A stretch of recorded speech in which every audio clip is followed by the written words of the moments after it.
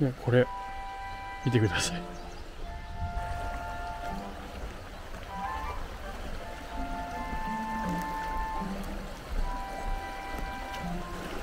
いい場所ですね。こうやって見ると。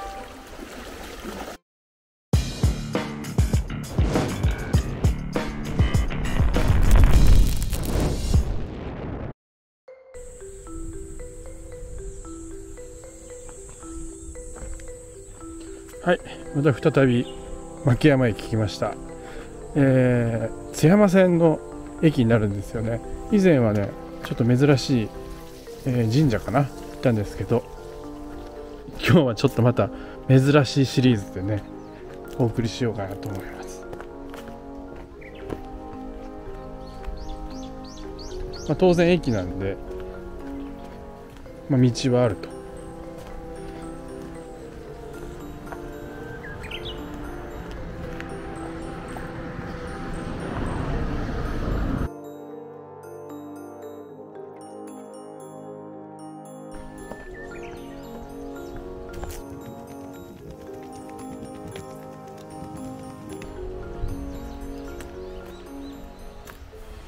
ちかな？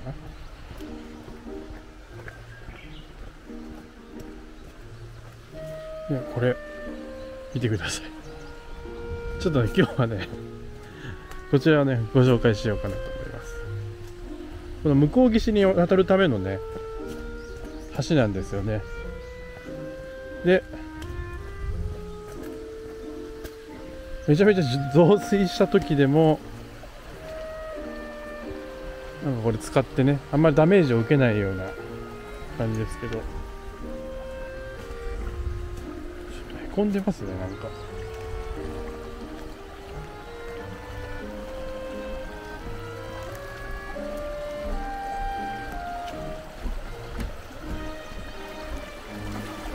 だからまあこのあれですよね。電車に乗って電車じゃない汽車に乗ってで向こう岸にね渡る場合とかねこれを使ってということなんでしょうか。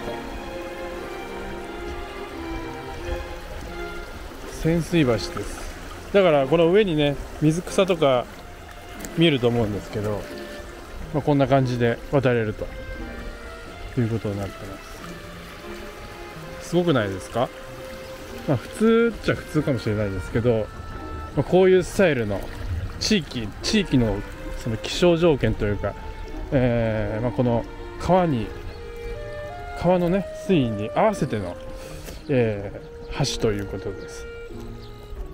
普通はね多分都線とかであの向こうの岸にいてたと思うんですけどまあなんとなくあの到着しました。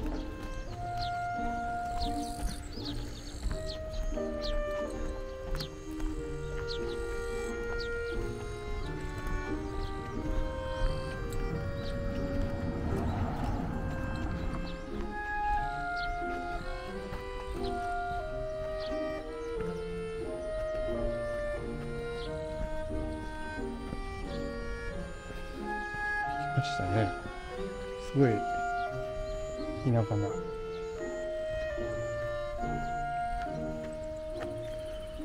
まあこういう感じですね。あの向こうに駅が見えると思うんですけどあれが牧山駅ということで。まあ本当にねここからほぼずっとね上流と下流にね橋がそんなに多分なかった感じするんですよね。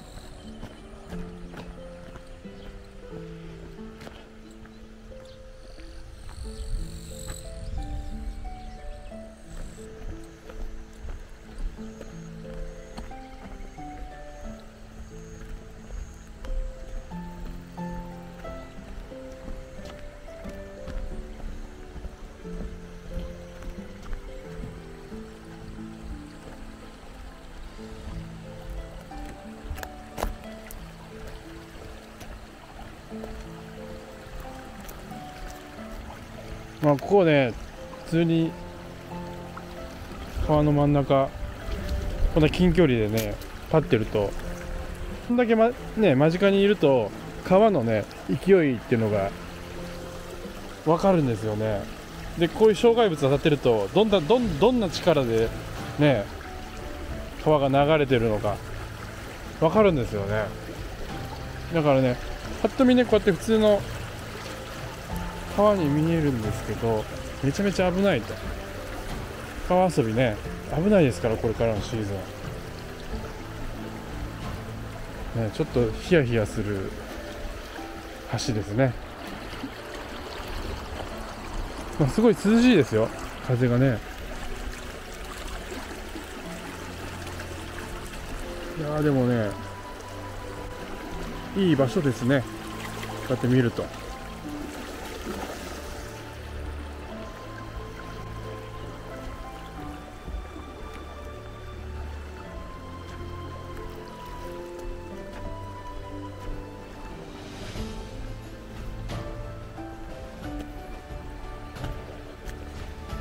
まあ自転車とか単車ね。はあのここ通ることができるんですけど。うん。あ増水手すりなど外してると。あ普段は手すりなどあるんだ。これでね。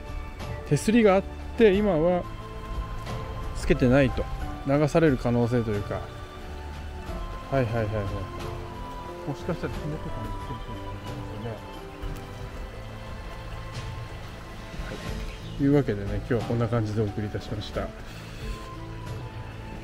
なんかね岡山にもこういう場所はねいくらかあるんですけどこんなね岡山の北区で身近な形で、えー、存在しているっていうのもなんかすごいですよね。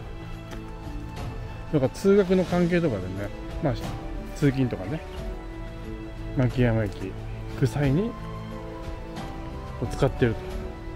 いうことですよね。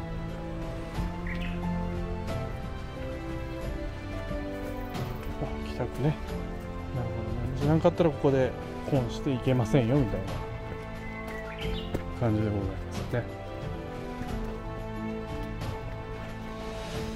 はいというわけで今日はこんな感じでお送りいたしました。ちょっとね物足りなかったかなっていう方もおられるとは思うんですけど、まあ、こういう場所もあるということでご理解いただけたらなと思います。いやでもね夏になってきましたね。もう夏なんですけどね。夏らしい夏です、はい、というわけでありがとうございました。